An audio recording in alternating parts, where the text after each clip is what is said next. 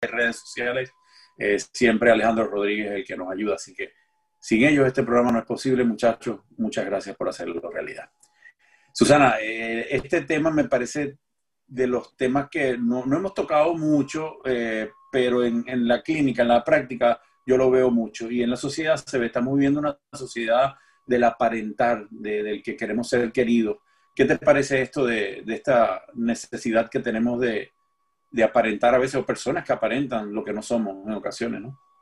Yo creo que es algo que se vuelve cada vez más frecuente y las redes sociales han ayudado mucho a que esto ocurra. Entonces, ser, parecer y aparentar la necesidad de algunas personas de sobresalir les está llevando en estos momentos a hacer una cantidad de cosas. A veces me sorprende lo que alguien puede llegar a hacer a través de redes sociales como TikTok, Instagram. A veces hasta nos sorprendemos cuando vemos a una persona, pero esta es la misma persona que yo he visto a través de redes sociales. Esto pasa en este plano, pero resulta que en otras etapas y en otros planos de la vida también ocurre. Hablábamos antes de empezar el programa la relación familiar a lo mejor no es la misma, no soy la misma persona cuando estoy en mi plano laboral, cuando estoy con mis amigos. Entonces, ¿por qué pasa esto? ¿Está esto mal? ¿Es esto normal? ¿Qué podemos hacer? ¿Conocen ustedes alguna persona que les haya sorprendido y que hayan tenido que decir, ya va, pero esta es la misma persona con la que yo estuve hablando? ¿Es la misma persona la que me parecía conocer? Participen desde ya porque este tema comienza y yo sé que promete estar interesantísimo para que ustedes puedan hacer sus comentarios.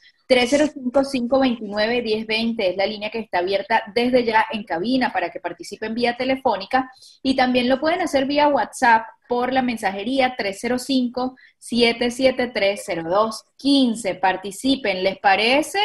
Haber conocido a alguna persona que luego les sorprendió y entonces pensaron que no era la misma, bueno, eso puede ser muy común. Eh, y, tenemos a dos eh, tíos y tías de la casa, porque además son más que amigos, ¿no? vamos con las damas primero, desde luego. Eh, nuestra querida Cristina Balinotti, psicóloga argentina, autora también, con, también lleva su canal de YouTube. qué placer tenerte de vuelta, Cristina, para tratar este tema que, por cierto, lo estamos tratando porque vi que lo habías tratado tú primero en el canal de YouTube, así que quiero darte a ti todo el crédito porque me pareció tan interesante y tan relevante que por eso eh, te invitamos a, poder discutirlo. Muchas gracias, sabes que es un placer, te aprecio mucho estar en tu, en tu programa. Sí, este es un tema eh, del que no se, no se habla demasiado, hay una necesidad de aceptación en esta sociedad en donde se nos exige tanto que se nos saca fuera de la zona de confort humano. Y entonces necesitamos sobresalir, necesitamos aparentar lo que no somos. Por supuesto que influyen los medios de comunicación, como decía Susana, e influye eh, también las opiniones hegemónicas que nos llevan a, pensar cosas eh, que están muy alejadas de nuestro ser. Y hay cuatro conductas humanas fundamentales en esta época, en esta necesidad de aparentar. Primero es la pérdida de privacidad. Vemos que eh, hace muchísimos años eh, la muerte, la enfermedad, el nacimiento, el sexo, eran cosas privadas, cosas que no se ventilaban. Sin embargo, ahora tenemos esta necesidad de ponerlo en las redes sociales. ¿Por qué? Bueno, para mostrarnos, para que nos acepten, para, para encontrar quizá adulación de parte de la gente o compasión. Muchos de ellos se fotografían en los hospitales después de tener accidentes u operaciones, cosas que realmente nos llevan eh, a preguntarnos acerca de esta humanidad, qué es lo que está pasando. La exaltación de las apariencias, por supuesto, eh, yo creo que cuando el hombre llegó a la luna hubo cinco o seis fotos importantes y ahora eh, las modelos, creo que la familia Kardashian eh, en, un, en un baño se hizo mil fotos, algo que realmente nos saca también del centro. Martín Heidegger habló que la vida puede fluir en, dos corrientes, y auténtica e inauténtica. Si elegimos el camino inauténtico, ella ahí en los años 70, nos decía que podemos hacernos esclavos, herramientas de la tecnología, es decir, transformarnos en herramientas de esa tecnología,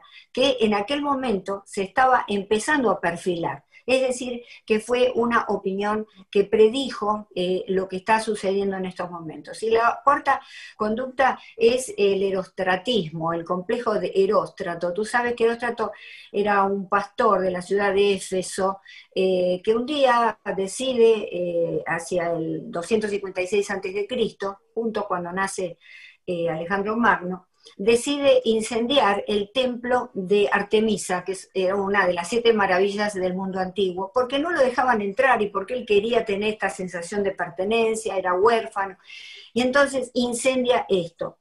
Este erostratismo lo vemos hoy en día. porque Lo vemos en los escaladores de edificios, someterse a desafíos virtuales, fotografiarse al borde de precipicios, y lo hemos visto también eh, llevado a niveles muy crueles eh, cuando se asesinó a, John Lennon. Chapman dijo, lo, lo maté por la gloria personal. Es decir, unirse, matar a alguien para pasar a la gloria. El asesino de Gandhi, Versace, el intento de asesinato de Juan Pablo II. Es decir, tenemos muchos ejemplos en la cultura de este erostratismo. Como dijo eh, Guy Debord, dijo, el ser se ha transformado en tener y el tener en parecer, en un libro muy recomendable, aunque complejo, que se llama La sociedad del espectáculo. Y entonces él ahí nos dice, hemos dejado de relacionarnos como personas reales para empezar a relacionarnos como personajes y representaciones falsas de nosotros mismos. ¿eh? Y solo nos contemplamos, contemplamos la imagen en una especie de apariencia de conexión humana. Sí, sí, y, es, que son tan eh, fértiles cada uno de los puntos que estás trayendo que quiero poder eh, explorarlos un poquito más, pero eh, quiero también presentar con nosotros que tenemos acá, tío de la casa también, José Antonio Cisneros, que usualmente lo tenemos como doctor, como autor, yo digo que ahora está convirtiéndose en, en, filósofo residente, ¿no? Pero un libre pensador, vamos a decir que es como le gustaría a él, yo creo más. José Antonio, es muy común. Yo me acuerdo haber estado eh, en mi adultez joven eh, en un grupo, en una barra, en un club, no me acuerdo exactamente dónde era. Y una de las personas que yo conocía, de momento venir y decir, no, fui con esta chica, le dije que yo soy doctor o que era ingeniero. y, y, decía, pero estás loco, o sea, porque estás pretendiendo, a lo mejor te la llevas hoy mañana, entonces cuando se entere que tú no eres médico, ¿qué te vas a hacer? E, esa necesidad que tenemos a veces, eh, hay un componente biológico aquí, ayúdame a entenderlo eh, también del ser humano, de a veces de aparentar lo que no somos. Mira, lo que pasa es que todo lo que estamos viendo y todo lo que han muy bien descrito ustedes es la manifestación más reciente de un proceso antiquísimo, tan primitivo como la especie humana. La razón es muy sencilla. El ser humano es un ser social, es un ser cuya supervivencia depende del trato con otros seres humanos. En este sentido, entonces, es importantísimo para la persona que vive en comunidad pertenecer, tener un sentido de pertenencia en esa localidad. ¿Cómo hace eso él? Él lo hace tratando de entrar en armonía con las personas que lo rodean. Y hay tres formas de entrar en armonía. Una es parecerse a los demás. Entonces, donde quieras, a, donde vayas, haz lo que vieras. es un viejo dicho y es un dicho de supervivencia. Entonces, mi comentario es el siguiente. La gente pretende ser otra persona por tres razones a mi juicio. Primero, porque no están satisfechos con lo que ellos en realidad son, entonces ellos aparentan ser algo diferente. Al no poder ser, aspiran parecer. La segunda, porque tienen un propósito específico a obtener con el cambio de identidad. Maquiavelo nos los dijo y a través de la historia hemos visto individuos que configuran toda una personalidad con un propósito específico. Yo quiero levantarme una mujer, yo adopto un perfil de personalidad que yo sé que a ella le agrada. Yo quiero llegar a ser presidente de un país, yo adquiero un perfil de personalidad que yo sé que atrae a los votantes. Y la tercera causa es sencillamente entrar en la tribu y no llamar la atención. Fenómeno Disney. Tú entras al parque de Disney, empiezas a actuar como ves a todo el mundo entrar. Entonces tú eres el que tiras la basura en todas partes en tu ciudad, pero cuando estás en Disney no tiras la basura al piso. ¿Por qué? Porque tú ves que todo el mundo va al bipote de la basura y la tira. Entonces tú adoptas un comportamiento porque tú no ves a tu alrededor a nadie comportándose como eres tú, entonces tú te adaptas. Si tú y yo vamos al Palacio de Buckingham, te garantizo que vamos a tener un comportamiento real. ¿Por qué? Porque eso es todo lo que vemos desde que entramos al Palacio Pero si nosotros vamos a un sitio en New Orleans, ahí en, en, cualquiera de esas calles o en esos bares, pues nos comportamos diferente. Entonces yo creo que es un proceso evolutivo de adaptación que siempre ha existido, siempre. Un mecanismo de defensa y de supervivencia y que ahora con las redes sociales ha pasado como con todo, se ha exteriorizado y como dijo bien Cristina, pues ahora hay una necesidad de hacerlo público. Pero fíjate que la razón de hacerlo público, yo no le doy mucha importancia a la parte psicológica. Yo creo que es la competencia por la atracción, los empleos y las oportunidades. La gente que trata de ser un influencer en las redes sociales, bien sea desnudándose o bien sea proyectando una imagen que no son ellos, el objetivo es el dinero, es comercializar esa influencia. ¿eh? Habrá algunos que lo hacen por otras razones, pero la gran mayoría de la gente está tratando de llamar la atención. Está tratando esencialmente de que haya más clics en su página web, más clics en su Instagram, más suscriptores en su canal. Entonces, esa es la manera, digamos, el enfoque biológico que yo veo y claro, tiene como todos los procesos humanos un factor psicológico que cuando es más o menos tolerable decimos que es dentro de lo normal y cuando se vuelve exagerado decimos que es una psicopatía. Mm, qué interesante. Eh, tenemos, eh, amigos, estamos hablando sobre el tema de la cultura del aparentar lo que no somos. Estamos hoy hablándolo con Cristina, Cristina Balinotti, psicóloga argentina, y también con José Antonio Cisneros, que es un libre pensador y autor, en este caso, además de médico. Eh, y te estamos invitando, estamos en vivo, ¿ok? Hoy es febrero 2, estamos en vivo hasta las 9 de la noche. Así que el invitado más importante eres tú. ¿Qué opinas ¿Has estado en una situación donde has visto a alguien que está aparentando lo que no es? ¿Qué opinas de por qué las personas aparentan lo que no son? ¿Eres tú? A lo mejor una persona que te das cuenta que hay veces que aparentas lo que no es. Eso sería el más valiente de toda la llamada. Me encantaría que compartieras con nosotros. 305-529-1020, 305-529-1020 para las llamadas en cabina, eh, o puedes hacerlo a través de la mensajería WhatsApp donde puedes escribirnos un mensaje al 305-773-0215, como estas dos mensajes que tengo ahora lo hicieron a través del WhatsApp, 305-773-0215. Cristina, a ver qué piensas de esto, dice Mauro. Mauro comenta, esto, esto tiene que ver con la necesidad de aceptación, aprobación social, ¿acaso? Eh, yo creo que está dándole en el clavo bastante, Mauro, ¿no? Eh, sí, tiene mucho que ver, ¿no? Sí, por supuesto, por supuesto. Es que la necesidad de aprobación eh, y aceptación social nos va a llevar a tomar determinados roles, eh, roles que muchas veces no conviven con nuestra propia esencia, pero sencillamente son apariencias para poder realmente entrar en ese mundo que tanto ansiamos a pertenecer. Hay un fenómeno también de masas, eh, de verdad, en todo esto. nos gusta aullar con la manada, entonces esa es la razón por la cual eh, lo que hacen todos, bueno, ahí, ahí vamos, ahí vamos en el mismo sentido todos y en la misma dirección, pero tenemos que tener eh, cuidado y plantearnos realmente eh, y poder plantearnos restablecer esta realidad nuestra del ser que está tan deteriorado. Por eso somos presas de la imagen y de la esclavitud de esa imagen, porque lo que tenemos adentro está deteriorado.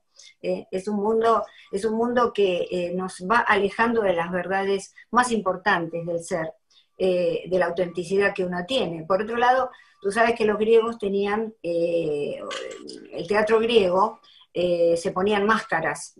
Y persona, persona, significa en griego máscara, es decir, personar, que quiere decir sonar a través de. Entonces, como eran todos hombres en el teatro griego, se ponían la máscara de la, de la dama, del caballero, del soldado, y entonces eran distintos roles. Para vivir, sin duda, nosotros necesitamos esas máscaras, ¿verdad? Porque no podemos, si estamos de mal humor, entrar al, a, la oficina o, a cualquier lado, o a la casa de un amigo con una mala cara. Entonces ponemos esa máscara.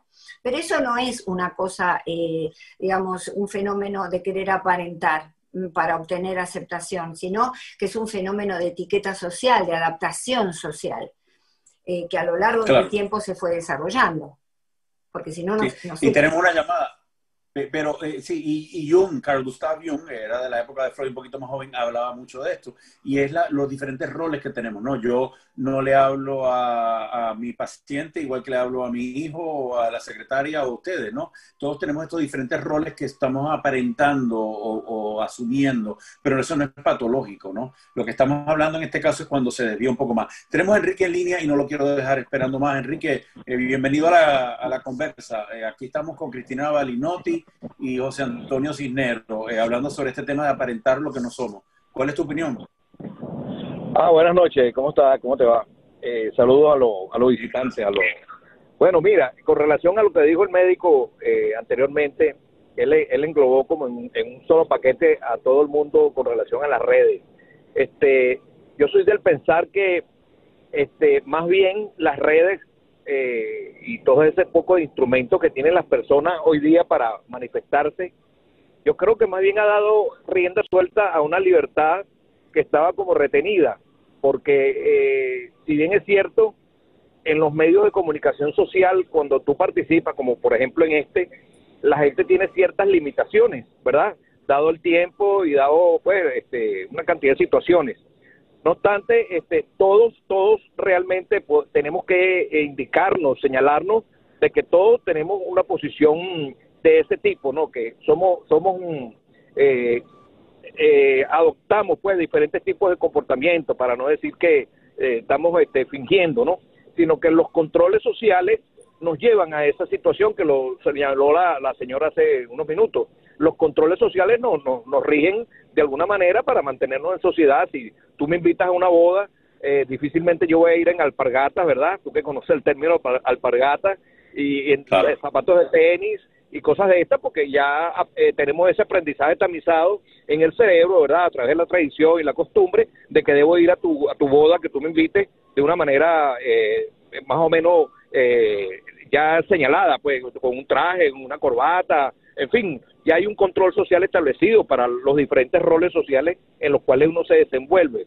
Pero como te decía eh, inicialmente, las redes sociales, como por ejemplo TikTok específicamente, para decir una, este, es una manera de la manera de las personas manifestar cómo son, cómo se sienten, qué es lo que quieren decir. Yo, por ejemplo, las he ido analizando, la gente se, se deslastra precisamente, eh, y no creo que sea como dice el médico, que la gran mayoría lo quieren hacer para que le den un like.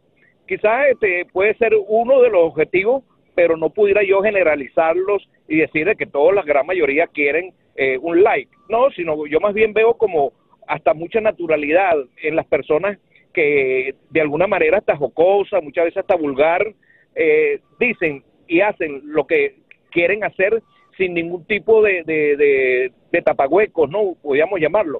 De manera que yo veo como bastante mm. libertad, específicamente en TikTok, ¿no? La gente son muy abierta.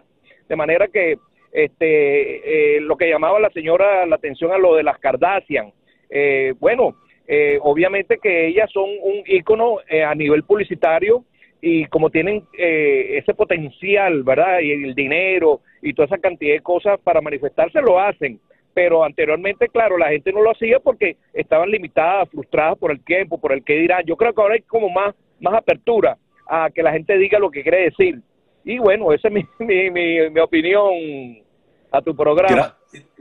Enrique, gracias por tu colaboración y, creo que es interesante. Aquí y, hicieron aquí, hace alusión Enrique a ambos, ¿no? Quiero la opinión y la respuesta a ustedes dos, pero eh, es que no hay una sola fórmula, no hay una sola explicación cada situación tiene diferentes explicaciones, pero Cristina, ¿qué, le comentarías aquí a lo que dice Enrique?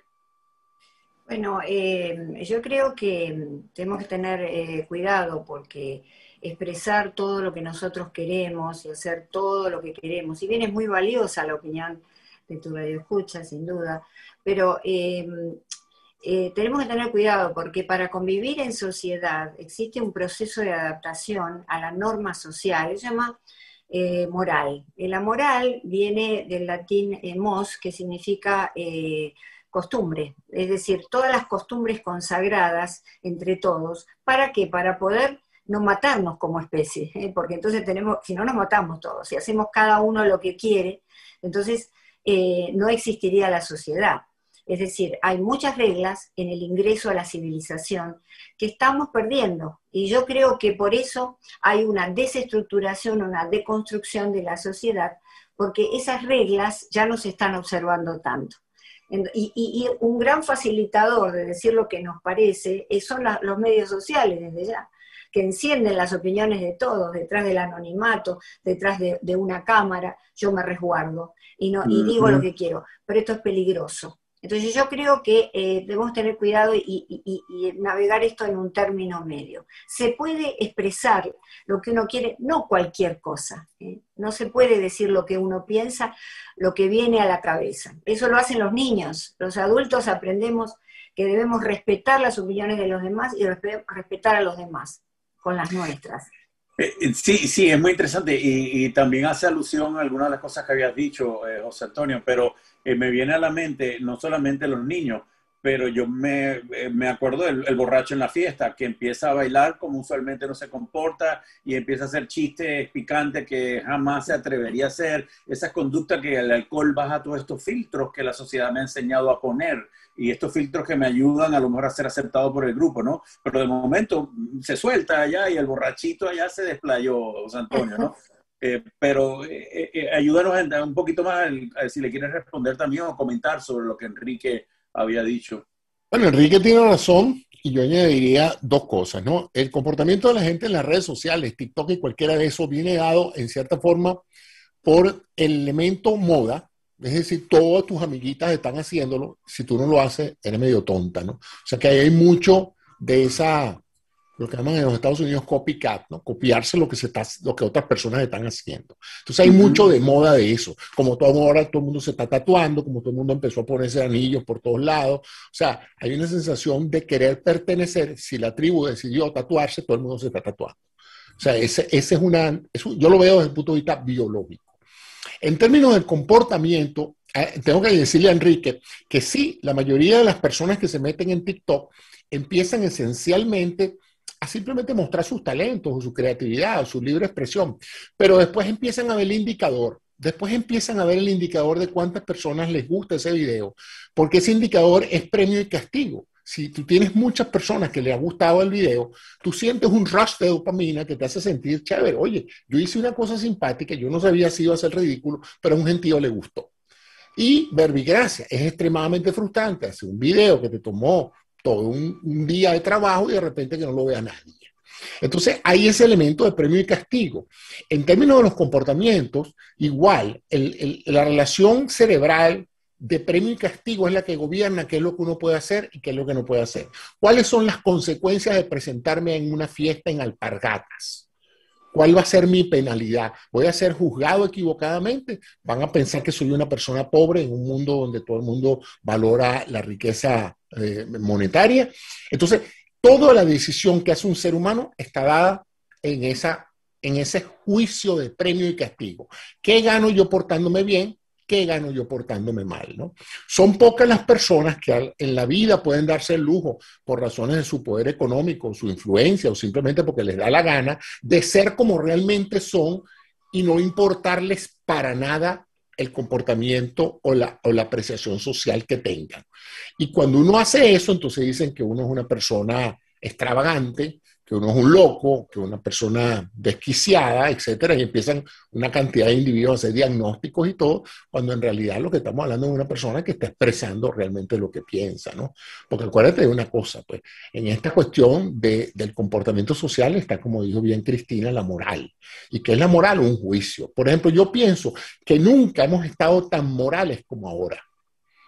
Eh, yo cuando la gente dice ahora es que esta sociedad se está desmoralizando, digo, tienes que irte 100 años atrás o 200 años atrás para ver cómo estaba esto. Tolerábamos la esclavitud, tolerábamos el abuso de, el abuso de las mujeres, matábamos a los homosexuales. O sea, nunca en la historia de la humanidad ha habido más empatía, más sensibilidad a las necesidades del otro como ahora. Esa es mi visión. ¿eh? Claro, que uno un momento dado, ay, pero qué más, ¿cómo es posible que el ministro tal esté besándose con su esposo en plena cámara? ¿Qué es eso? Fin de mundo. Bueno, habrá gente que lo vea así. yo estoy seguro que si tú le preguntas a la comunidad homosexual, la comunidad homosexual está feliz de que por fin el amor y las relaciones de pareja de ellos sean reconocidas. O sea que todo es una cuestión que se filtra alrededor de eso y la gente que cree que todos los tiempos de antes fueron mejor, solamente tiene que ver las estadísticas y cómo era la cosa de antes para los que no estaban bien. Entonces, esa es mi opinión. Sí, eh, tenemos que ir a una pausa. Antes de ir a la pausa, quiero que me digan ambos dónde las personas los puedan contactar y cómo los pueden seguir. Eh, pero quiero, al regreso de la pausa, también explorar con ustedes también ¿Qué, cuál es la consecuencia cuando nosotros tenemos este desdoblamiento, que cuando ya es este extremo, ¿no? más allá de la necesidad de ser eh, admitidos en nuestra sociedad, de ser queridos, ser aprobados. Hay un momento donde hay veces que en verdad la persona aparentamos lo que no somos y ya llega a ir a, un punto quizá, no quiero decir patológico, pero donde no es sano, vamos, y donde ya se convierte en algo que, que estás con alguien y dices, pero, pero esta no era la persona con que con quien yo conocí. Y eso es lo que quiero que exploremos un poco. ¿Cuál es la consecuencia y qué podemos hacer al respecto? Pero, Cristina, cuéntame, antes de ir a la pausa, las personas que te quieran contactarse, que tienes muchísimos proyectos, cuéntanos qué, cómo lo pueden hacer. Bueno, a través de mi canal de YouTube, unifamilia.com, eh, los invito a suscribirse eh, para ver todos estos eh, conferencias, materiales y, programas. Y mi website, balinoti.com. allí pueden dejarme mensajes. B de bueno, una sola L y doble T. Ah, viste, qué bueno que lo traté de aclarar. Y no se confunde, sí, sí. Así que bueno, allí, allí hay cinco páginas de mi website en donde están todos los proyectos. Fantástico. Y ahora al terminar el programa también volveremos a dar esa información. Eh, José Antonio, las personas que te quieran contactar, yo sé también que tú eres muy activo ahora en Instagram y tienes tu página web, cuéntanos. Bueno, como siempre, estoy tratando de adaptarme a las nuevas realidades de la sociedad. Estoy en doctorcisneros.com. Lo pueden escribir como doctorcisneroscorrido.com o lo pueden escribir como drcisneros.com. En cualquiera de los dos casos llegan a un sitio web que es más bien un videoblog de todos los diferentes tipos de programas sobre los cuales yo opino. Mi nombre es Alfredo Hernández, yo soy psicoterapeuta y escuchas Improving Lives, Mejorando Vidas por Actualidad Radio un programa hecho por profesionales que nos dedicamos al cuidado de tu salud mental. La verdad que hay veces que me gustaría que, se, que pudieran escuchar todas las charlas que tenemos aquí mientras estamos en comerciales, porque eh, la verdad que son muy ricas también. Estamos acá, eh, el día de hoy estamos discutiendo el tema sobre la cultura de, aparentar lo que no somos. Y con nosotros está Cristina Balinotti, ella es psicóloga eh, se queda corto el título de psicóloga, nada más, Argentina. Cristina, ¿serías que educadora? Es como creo que te estás, eh, ha sido la etapa eh, más reciente. Sí, como puede ser educadora, profesora, estoy más en el ámbito de la investigación y de, los temas humanos, conectados con la psicología. Pero yo creo que la psicología no puede quedarse en la superficie porque hay muchas cosas más que se pueden integrar. ¿eh?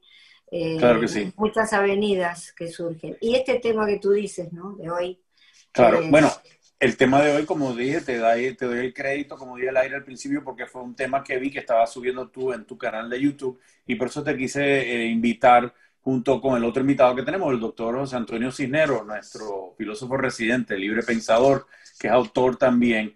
Eh, y estamos hablando sobre este tema, como decíamos, el aparentar lo que no somos. Tenemos a alguien que nos escribe em, a través, y estamos en vivo, recuerden, eh, estamos en febrero 2, estamos en vivo de 8 a 9 de la noche. Si quieres llamarnos, el 305-529-1020, como hizo Enrique hace un rato, 305-529-1020, o a través del WhatsApp, como ya había hecho Mauro y ahora Lori, el 305-773-0215 es para la mensajería del WhatsApp. Si tienes un comentario, el 305-773-0215. Eh, Lori nos escribe, ya quiero ver el comentario de ambos. Dice, esto que, que dicen me recuerda a quien era mi esposo. 15 años después descubrí a otra persona. No era el que yo conocí. Eh, esto es típico también eh, aquí, Cristina, ¿no? vamos evolucionando, a lo mejor es que era otra persona totalmente distinta, pero es, normal el que uno vaya cambiando a través de, los años, ¿no? Sí, por supuesto, uno va madurando. El tema es que eh, no puede uno mostrarse, y desde ya que cuando recién nos conocemos queremos hacer eh, todo bien, poner la mejor cara, las mejores modales. Todo este tema, ¿verdad?, de la pareja que recién se conoce. Pero tiene que estar soportado por mucho diálogo para poder conocerse en profundidad. Entonces tener estas pistas que eh, luego no nos dejen colgados cuando 10, eh, 12 años después esta persona quién es. Tenemos que eh, trabajarnos interiormente. No creo que sea, esto es una cultura de las apariencias y de la imagen más que nada. Y entonces nos quedamos con lo de afuera y, hay poco diálogo, ah, porque se trabaja, porque no se tiene tiempo, y el diálogo es lo que favorece esa conexión humana. Y te quería hablar de otro costado, de la apariencia, que es, eh, la apariencia está supuesta a ser la expresión de la esencia, de la esencia del ser, de quien uno es. Es decir, que la palabra apariencia en sí, las apariencias, eh, no son algo negativo, siempre y cuando estén en concordancia con nuestro ser, con nuestra esencia. ¿Eh? Entonces, ahora, cuando yo tengo una esencia determinada y muestro una apariencia diferente, ahí es donde, hay donde ocurre el fraude, donde no soy yo, en realidad. Mm. Por eso es importante eh, hacer esta distinción, porque las apariencias deben, deben eh, necesariamente mostrar la esencia de la persona. José Antonio, eh, desde el punto de vista biológico, que sé que es el que estabas tratando también inicialmente, esta etapa del cortejo, de la conquista, ¿no? Todos queremos poner nuestro mejor pie adelante, como dice, your best foot forward, dice, decimos en inglés, ¿no? Donde te pones perfume, tratas de estar en forma en esa época, a lo mejor más, te cuidas más, el hombre se afeita, la mujer está siempre arregladita, se pone el maquillaje, siempre está bien arreglada. Ya cuando llevas un tiempo casado, ya no te importa tanto esa apariencia, ¿no? Pero ya esto es algo que tiene que ver con la biología, ¿no? Bueno, es lo que te estaba diciendo, las tres causas por las cuales la gente pretende ser otra cosa, ¿no? En estos casos, pues evidentemente hay el interés de conquistar, de seducir a la pareja, en cuyo caso tú adoptas tus mejores trapos, tus mejores apariencias, e incluso modificas tu personalidad para esconder cualquier tipo de rasgo negativo que tú creas que pueda ser terrible, pues, en la relación. Pero como yo te digo, como, como biólogo y como médico, yo lo veo básicamente como un proceso de adaptación. Yo no creo que, por ejemplo, eh, eh, eh, uno dice, bueno, uno tiene que representar lo que es. No necesariamente, a lo mejor si uno representa lo que es, no tiene oportunidades en la vida. A lo mejor si tú te adaptas al esquema de la sociedad en ese momento, avanzas más. Yo, por ejemplo, creo que uno de los grandes fenómenos de las redes sociales es la sensación de que quien no está en las redes sociales no existe. Alguien una vez me dijo, tú no tienes un canal de YouTube. Bueno, si tú no estás en YouTube, tú no existes. Interesante, porque en el pasado era la oratoria. Si tú no tenías capacidades de oratoria, tú no avanzabas en ninguna parte, porque la retórica era el elemento más importante de proyectar tu inteligencia. Nadie podía saber en la calle por la apariencia tuya si tú eras un hombre o no, inteligente. Entonces, la mayoría de las personas que querían distinguirse o competir usaban la oratoria como un recurso, ¿no? Pero ahora las redes sociales pues han exponenciado todo eso, el aspecto físico, por ejemplo. Y otra cosa que no se ha mencionado, lo que pasa es que en el pasado tú no te enterabas de cómo vivían los demás. Tú no te enterabas de la excitante vida de ciertos seres humanos. Tú vivías un grupo pequeño de 15, 20 amigos, donde todos más o menos eran social, económica y culturalmente muy similares a ti. De tal manera de que tú no sentías el peso de la diferencia. Hoy por hoy, tú eres una persona que tiene 5 kilos de diferencia, una muchacha o un hombre que se ve un poquito gordito, y ves esos mujerones, y ves esos hombrazos en internet, y entonces empieza un proceso neuro, neuropsicológico complejo, que es comparar, es inevitable. El ser humano compara, tu vida depende de comparar. Tu vida depende cuando tú ves en la pradera diferenciar un venado de un tigre.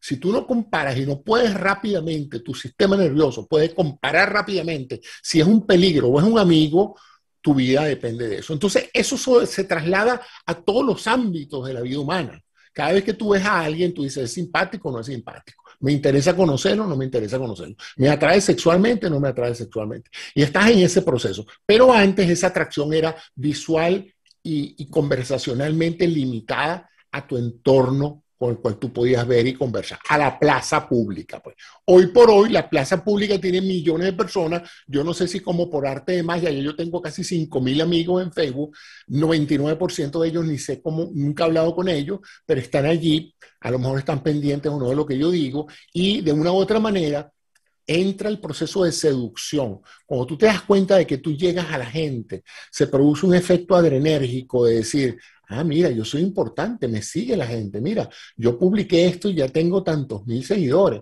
Y eso es como todo el proceso de neurotransmisores, eso es dopaminérgico y eso es excitante. Quiero, quiero que me acompañen ahora para hablarle a, las personas que nos están escuchando, porque me parece fabuloso lo que estamos explicando, pero vamos a llevarlo al punto personal, no solamente explicar la sociedad y cómo estamos viviéndolo. Yo, yo le digo a los pacientes que trabajamos a veces, y esto lo veo mucho, por ejemplo, con los muchachos autistas, ¿no? con las personas que tienen ya otras dificultades eh, de relaciones con la sociedad creamos, yo le digo, ¿no? Eh, como si fuera un holograma. El holograma es esta figura eh, creada por computadora que a través de unas luces crea un objeto, ¿no? En, esta persona, en este caso es nuestra imagen. Creamos un holograma de quién soy yo. Este holograma de que, que yo creo, quiero que sea aprobado por ti cuando estamos eh, hablando tú y yo. Pero cuando estamos en un grupo, quiero que sea aprobado por cinco personas. Y empiezo a crear esta imagen que es una energía que yo proyecto, ¿no? es, es este egregor, como dicen en otros ámbitos. No creo este, este ser, este ente que mi mente genera para ser aceptado. Hablo de una manera simpática, miro de una manera que es aceptada, de acuerdo a todo lo que hablamos. Pero esto requiere una cantidad de energía psicológica para yo poder estar proyectando y mantener esta eh, imagen constantemente. Pero llega un momento en la vida donde me consume demasiada energía no es aprobado por suficientes personas, o no importa que lo sigan aprobando o desaprobando, deja de ser muy distinto a quien soy yo. Mi esencia se pierde a través de este, eh, eh, este esta figura que yo he creado, este avatar. de quién soy yo. ¿Qué hacemos? Ese avatar, fantástico. Bueno, pero es que eso depende del premio y castigo. Si ese avatar te hace feliz y te produce millones de dólares, aunque no sea feliz dirigiendo un hedge fund, el premio, el bienestar económico y físico. Mira, ¿cuántas encuestas se han hecho de personas sumamente ricas que odian lo que hacen? Lo odian, lo detestan, pero no pueden salir de eso porque son esclavos de los beneficios que esas posiciones le dan. Es un poco lo que la política. ¿Tú te crees que, que, cualquiera de estos individuos políticos eh, disfruta el grado de rechazo que en un momento dado está teniendo un vasto sector de la población, pero los privilegios del poder justifican eso. Entonces, yo no le veo mucho el hecho de que la gente, eh, la gente hace un trade-off, hace un compromise.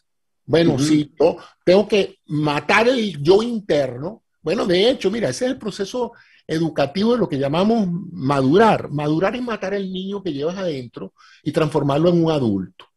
¿Para qué? Para que encuadre dentro de la sociedad, para que te den trabajo, para que, te, para que consigas una pareja que no quiere un niño de, pareja, sino quiere un hombre maduro, responsable, cumplidor. Entonces tú sacrificas todas esas energías internas y espontáneas que tiene el niño. El niño es creativo, el niño dice lo que piensa, el niño no tiene límites. Entonces hay todo un proceso educativo que toda la vida ha existido, que en cierta forma es una domesticación de ese niño interno para que encaje en una sociedad de creencias y valores.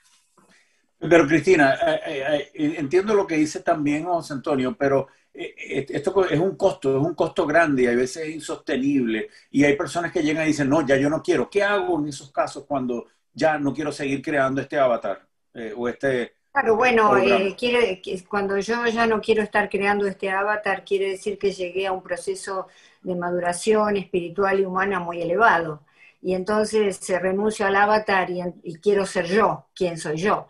Me parece muy patético tener que renunciar eh, a las bondades de ese niño interno, eh, como dice em, el doctor Cisneros, domesticarlo, en un sentido es real, pero el niño interno no se puede domesticar ni se puede en realidad eh, anular, ni enterrar, ni matar, porque eso está siempre en nosotros eh, el, niño está, bueno, desde la psicología transaccional lo vemos, ¿no? El, niño, el adulto, el padre, son figuras que están siempre dentro de nosotros trabajando nuestra, nuestra psiquis.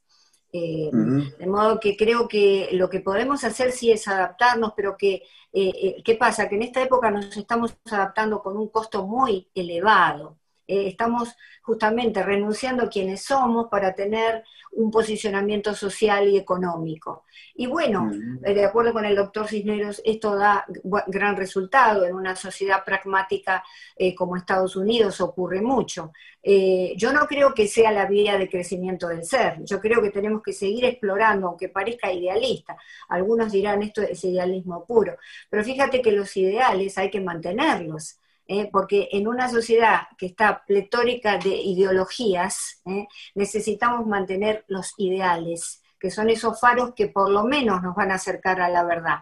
No vamos a ser perfectos, ni vamos a ser seres maravillosos, pero por lo menos vamos a estar en ese término medio, acercándonos más a la humanidad y no robotizándonos y transformándonos en máquinas de hacer dinero y de hacer éxito, que por otro lado el éxito viene del latín eh, y significa salida, ¿no? esa salida rápida que yo quiero hacer rico, ¿verdad? Sí, y José Antonio, creo que me, que me ayuda a reconciliar esto, porque suena como que tengo que matar al niño. Perdóname, yo el niño no lo maté. Yo en vez de bicicleta ahora ando en una bicicleta con motor, es una motora y tengo una Harley Davidson. Y esa es mi manera de yo no perder a ese niño. El explorador, bueno, me voy a las montañas y corro moto en las montañas. O, en vez de jugar, bueno, y patear, eh, a practicar artes marciales. Pero uno no tiene que sacrificar ese Alfredo, tú eres un privilegiado, Alfredo. O sea, eh, eh, yo los oigo hablar y, y, acuérdense de una cosa, los griegos de los cuales estamos hablando eran una élite. La gran mayoría de los griegos eran gente que no tenía chance de expresar su verdadero sentimiento, ni siquiera lo que decían los filósofos. Y todo lo que estamos hablando en realidad, estamos hablando de personas elitescas que pueden darse el gusto de, llenar sus vidas de expectativas, de sueños. De... Pregúntale a la inmensa gente que trabaja dos y tres trabajos diarios, que ha matado sus verdaderas inclinaciones emocionales y culturales y, y hasta artísticas por hacer trabajos mundanos y hacer trabajos repetitivos. Y te dirán, mira, sí, me parece muy bonito todo lo que ustedes están diciendo, pero yo tengo 40 años haciendo lo que otros me han mandado a hacer. ¿Y qué hacer entonces? Porque, ok. No, es que eso ha sido a través de la vida, porque eso es la competencia humana. Eso no hay forma de pararlo, porque esa es la competencia de, eh, de la especie. Por eso digo, el, el, punto de vista que yo les traigo a ustedes es un punto de vista biológico, que luce crudo, pero es que la naturaleza es inmensamente cruda, pues. Eh, eh, entonces. Claro, sí. Pero discúlpenme, doctor Cisneros, pero la naturaleza, la naturaleza no se puede adherir a la cultura. En el momento en que nosotros, porque entrar en la cultura implica domesticar esa naturaleza, implica de alguna manera vivir de otra forma, eh, con esta moral de la que hablábamos al, comienzo y con esa ética de la, que de la que no hablamos todavía, pero que es importante también. Es decir, el hombre natural, bueno, eh, lo que decía Rousseau, ¿no? el hombre nace bueno y es la cultura la que pervierte esa bondad originaria. Pareciera como que eh, la naturaleza es siempre lo mejor, pero eh, quizá no lo sea, Quizá no lo sea. Si nosotros queremos actuar con todos estos eh, sistemas reflejos naturales en medio de esta cultura, bueno, pues entonces entramos en un proceso de destrucción de las, de las estructuras culturales, porque para estar en la cultura necesitamos mantener cierta normativa, eso es lo que nos une cierta solidaridad entre todos, eh, cierto trabajo y cierto trabajo humano. Creo que alguien dijo que no nacemos humanos, sino que hay un proceso de humanización de lo humano. Y hacia eso tenemos que ir. Humanizarnos quiere decir poder funcionar bien en la sociedad, eh, respetándonos. Recordemos que cultura es todo, cultura es todo, y cada, la cultura no es, no es, una cosa estática, la cultura de, pertenece a un tiempo y a, a, una ubicación. En este mismo momento, nosotros tenemos una cultura, pero en el Tíbet tienen otra cultura, en África tienen otra cultura, y aún la misma cultura de nosotros es diferente a la de hace 100 años y va a ser diferente a la dentro de 100 años.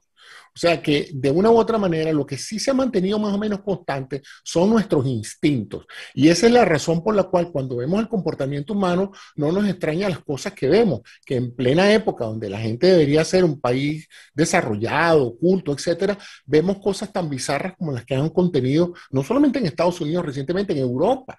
Yo estoy viendo ahorita un, desajuste estructural social en países como Holanda, que uno veía como un país estable, un país donde nadie tiene mayores preocupaciones que la del COVID. Y entonces tenemos manifestaciones en, en Holanda que no son muy diferentes a las de nosotros y los comportamientos humanos se parecen. Entonces, sí creo que todos ustedes tienen razón en ese sentido, pero el proceso de querer aferrarse a una cultura pensando que eso se va a mantener es, es, es algo que no se va a poder contener porque eso evoluciona como tal. ¿eh? Eh, esa, es mi impresión. Fíjate, yo, yo voy a, darte otro ángulo. Yo creo que igual que el cuerpo humano está eh, diseñado para estar sano, no es para estar enfermo de la misma manera no estamos diseñados para este desdoble y para esta búsqueda de ser aceptado todo el tiempo. Existen enfermedades y tú puedes tener una caída y te romper un brazo. Sí, existen situaciones que nos llevan a vivir una vida quizás, si quieres, en miseria o en desgracia, eh, porque llegó el comunismo a tu país y tienes que venir a trabajar tres trabajos, pero no es el estado natural del ser humano. Yo creo que lo que ocurre en muchas ocasiones, igual que en la parte biológica, si tú quieres, eh, ignoramos algunos dolores, ignoramos ese dolor de, espalda y tenemos una tensión en el músculo que la ignoramos y se convierte ya en algo más serio. Yo creo que cuando el ser humano eh, deja de atender esa falta de satisfacción consigo mismo, porque tengo que satisfacer al demás, y empiezo a tratar todo el tiempo de ser aceptado, cuando llega a ser patológico, que entonces estoy gastando esta energía adicional que yo sé que no es congruente como yo me siento, que no es, con, que no es sano, porque yo lo, lo sacrifico, ese momento que me doy cuenta, ahí es que tenemos el problema, porque no es el estado natural nuestro, yo creo, el tratar de buscar, sí, hay que buscar aceptación, pero no el convertirme en quien yo no soy para ser aceptado por el, por el demás. Y eso no es el estado natural, aunque estoy de acuerdo que sí, hay situaciones que no me dejan en la vida poder llegar a disfrutar, y no es que seamos elitistas, porque a lo mejor no tienes para comprarte una motora, pero tienes para ir a la playa y puedes ir a disfrutar las flores que tienes en el patio y puedes, eh, y no es el estado natural que yo creo del ser humano y ahí es donde entramos entonces en las patologías. No, no, no creo que te sientas atacado, José Antonio, pero ahí discrepo a lo mejor un poquito en lo que tú No, no, no, yo te entiendo a ti. Lo que pasa es que yo veo gente que no tiene tiempo de ir a la playa, que tiene tres trabajos y que cuando llega a la casa tiene que dormir porque no tiene tiempo para más nada, ¿no? Pero, pero bueno, eso es aparte y eso siempre ha existido y siempre existirá y eso. Yo le digo a ustedes como psicólogos, ¿ustedes no creen que la apreciación que los psicólogos hacen de la psicología humana ha cambiado durante el tiempo? Yo ahorita hoy creo, yo no, yo no me meto en, en campos ajenos, pero tengo la impresión de que Freud viniera hoy y cambiara prácticamente 90% de su, de su concepción de la, de la mente humana. Pues. Y yo les digo que de aquí a 300 años, cuando se avance más en la neuroquímica del cerebro y en qué nos mueve, los psicólogos de aquí, cuidado si antes de 300 años, cuidado si antes de, 50 años, vamos a tener psicólogos que, que van a ver con sonrisas todas estas conversaciones nosotros, porque van probablemente a estar en conocimiento de una serie de mecanismos que ahorita no conocemos y que van a explicar todos los comportamientos humanos. Por ejemplo, fíjense, ahorita todos los avances en neuroquímica cerebral apuntan a que el libre albedrío puede ser simplemente una ilusión de nuestra sí. Sí, discúlpame que, te tenga que despedir, pero de la misma manera te voy a decir que los doctores del futuro van a mirar a los doctores del presente y lo vamos a ver también como dinosaurios Totalmente. por atendernos con tantos medicamentos. Yo, lo veo, yo me veo yo mismo hace 40 años y no me conozco. Claro, ok. Tenemos que terminar. La verdad que ha sido tan rica esta conversación. Eh, le agradezco muchísimo. Cristina, eh, muchísimas gracias por habernos enriquecido eh, y gracias nuevamente por llevarlo a tu canal de YouTube, del cual me copié para poder discutirlo el día de hoy. Las personas que te quieran contactar, ¿cómo lo pueden hacer? Dirígelos. Eh, bueno, pueden poner Cristina Balinotti con CH, B larga, una sola L doble T en Google y hay varias páginas de información acerca de mi persona. Estoy en, en Facebook, en Instagram, en todas las, redes, Twitter y LinkedIn. Y como se van a dar cuenta, no se van a aburrir ni con Cristina ni con José Antonio, el doctor José Antonio Cisnero. Eh, José Antonio, las personas que te quieran contactar, ¿cómo lo pueden Doctorcinero.com, doctorcinero.com. Ok, fantástico. De verdad que le agradezco muchísimo a los dos, a ustedes también en la audiencia. Eh, aquí lo importante es que tú tratas de encontrar, eh, encontrarte a ti mismo, ser quien tú eres, ser feliz con quien tú eres al final. Si los demás te aceptan, fantástico, qué bueno. Pero si no, de verdad no te luches tanto por ser aceptado por las demás. Es más importante que tú te sientas cómodo con quien tú eres, ¿ok? Y como lo digo siempre al final, quiérete y déjate querer.